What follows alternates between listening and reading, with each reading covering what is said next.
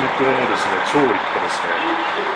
北海道新幹線ができた暁にはですね、この跨線橋もリニューアルされるんでしょうか。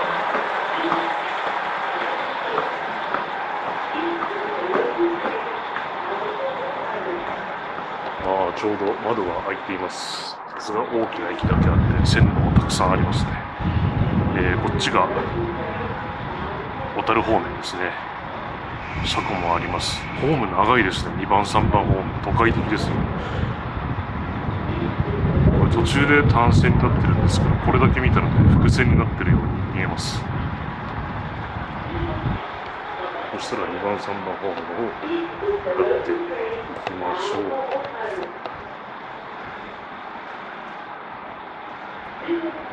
基本的に2面3線の駅ですね。まもなく小樽行き普通列車が発車いたします。ドアが閉まります。ご注意ください。次は小沢に停まります。This is the local train bound for Otaru. えーと普通列車小樽駅は間もなく発車するそうです。ただ撮影の方ですね、行っていきますから、せっかくですから。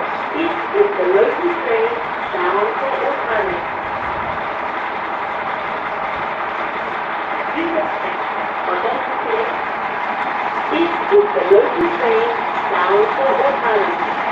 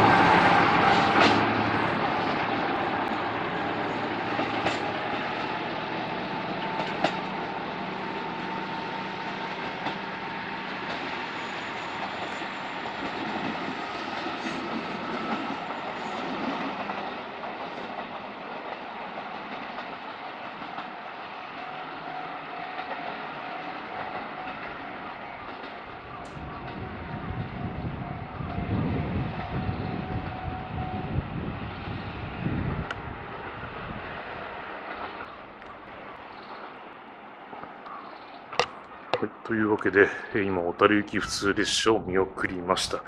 くっちゃん駅の2番、3番ホームです。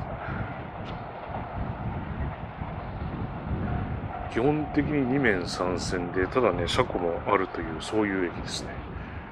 この駅裏の広大な空き地は、かつては線路がたくさんあったんでしょう。そして向こうには立派な体育館のようなものがあります。この広大な空き地はですね、無駄に空いているわけではありません。北海道新幹線ができた暁には、ここに超都会的なクッチン焼きができる予定になっています。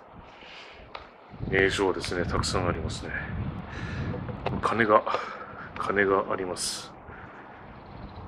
小樽駅にある向かい鐘を元デザインしたミニチュア版ですということです。ただなかなかこの柱もですね、茶色く塗られていて、待合室ももちろん完備されていて、まあこうやってみるとあれですね、結構小樽駅に通じるデザインが、このくっちゃん駅あるわけですね。あそこにですね、古線橋があります。あの古線橋も北海道新幹線が開通した暁には、どうなるんだろう。ぶっ壊されるのかなアンダーパスになるのかなちょっとわかりません。でホームはですね、えー、ここ、まであります。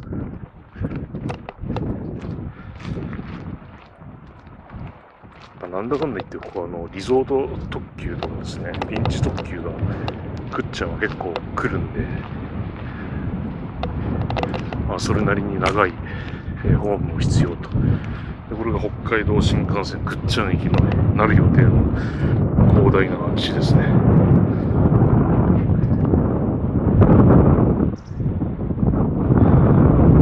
おそらくほぼ1世紀ぶりにこの函館山線がメインルートとしての座を取り戻すという北海道新幹線札幌延伸にはそういう意味もあると個人的には思っています。さあサムネイルどういうのがいいかな。ここからさっきの機動車取ればよかったな駅名標の駅舎駅のここここかないや多分この方がいいかな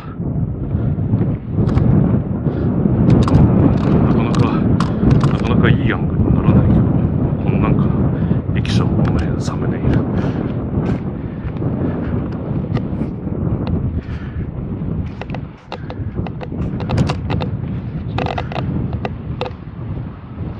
北海道新幹線開業したらどういう感じの駅になるのかな？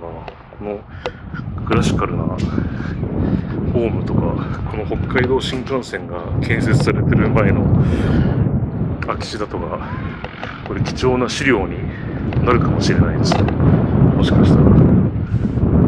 そしたら解説の方ですね戻っていきましょう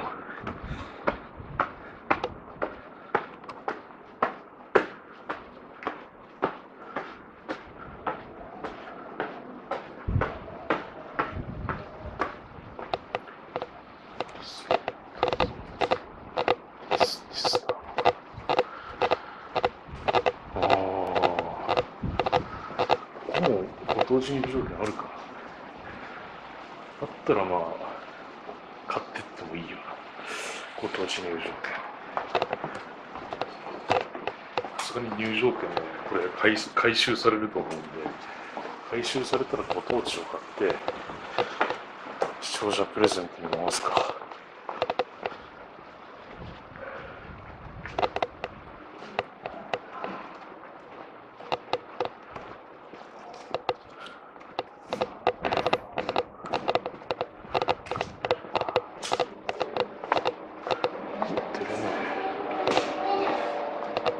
出るねすみません、ありがとうございます。